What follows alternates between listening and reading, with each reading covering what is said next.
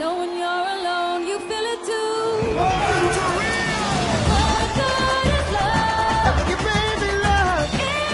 Eres el ave de mi vida, Blue. Eso es bueno.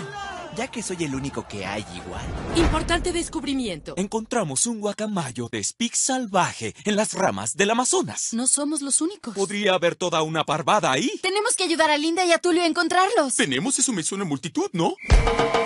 El ave de ciudad que acaba de aprender a volar está a punto de dar un paseo Oigan, esperen. por el lado salvaje. Todos vamos a ir al Amazonas. ¡Hurra!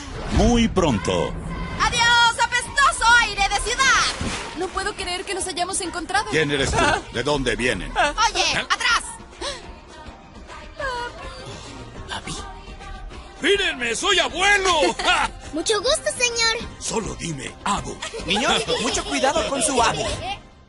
Tú dime, señor. los creadores de la era de hielo presentan Roberto. Hola, hey, soy la media naranja de Perla. Jamás mencionaste a ningún Roberto. ¿Es así como debe verse un guacamayo azul? Blue, Perla, Pedro, Nico, Luis, Roberto, Pepillo y presentando a Gaby.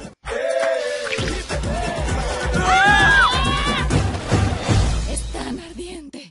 Río 2.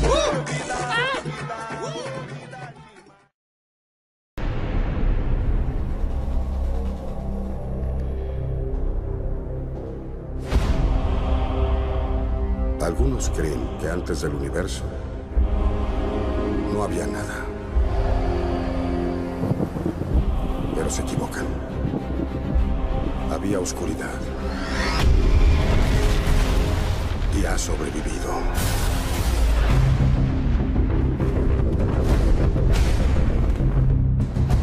Te prometí que regresaría. ¿Qué crees que pase? Sujétate. Espera, ¿qué?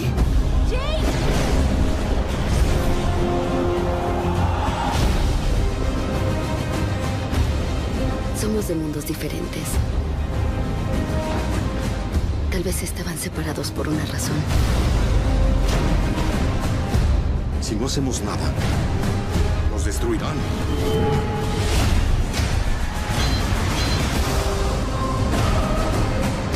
Pregúntate.